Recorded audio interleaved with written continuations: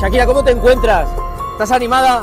Se está diciendo mucho en Miami que te vas a instalar en la ciudad de Florida. Muchos jugadores que estaban ahí con modelos y estos jugadores eran casados. La supuesta infidelidad de Gerard Piqué a Shakira ha causado un gigantesco revuelo internacional y es que ahora la influencer Luciana Kushmer dio a conocer en un TikTok que desde hace años se sabía que Piqué le estaba poniendo el cuerno a Shakira. Se puede llevar los celulares a este lugar, o sea, nos los van a quitar en la entrada. En esta red social, Luciana explicó que varios de los jugadores del Barça asisten a fiestas sin sus parejas y se portan bastante mal. Luciana hizo énfasis que a los invitados de ahí no les permiten llevar celulares para que no graben contenido que tal vez por ahí se pueda filtrar. Celular en esos lugares porque habían muchos jugadores que iban y se portaban súper mal. Luciana, bastante hábil, nos explicó cómo los compañeros de Gerard Piqué acudían a este tipo de reuniones privadas, sin sus esposas y sin sus novias, por obvias razones. Iban y se portaban súper mal, o sea, se drogaban o consumían demasiado alcohol.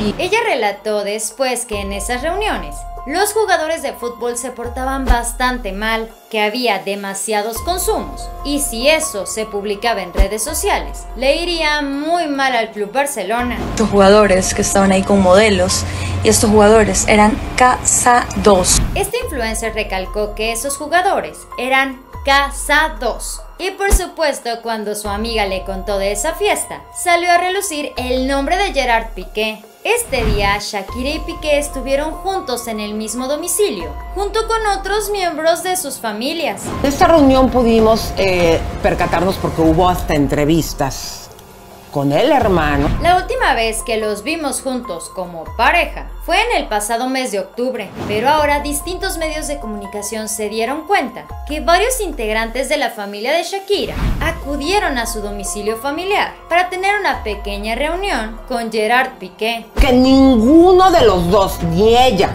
y mucho menos Piqué, que ya anda. Y es que en esta reunión al parecer estuvieron hablando de algunos acuerdos que sí o sí deben cumplir si es que quieren buscar el bienestar de sus hijos. Elisa comentó que uno de estos acuerdos es que no deben de permitir que a ninguno de los dos les tomen fotografías con otras personas en un determinado tiempo. No podrá ser fotografiada, al menos con consentimiento. Otro de los acuerdos es que si van a salir alguna fotografía, únicamente pueden ser fotografías demasiado específicas. Van a ser únicamente fotos familiares con los niños. Y es que al parecer, según Elizabeth Stein, sus informantes fueron los que le dijeron que supuestamente Piqué fue quien empezó a difundir la noticia de que desde hace varios meses él tenía una relación abierta con Shakira. Dio que fueran a terapia y fue el mismo Piqué que rechazó la oferta. Lo cierto es que ya por todos lados se dice que Piqué le puso el cuerno a Shakira.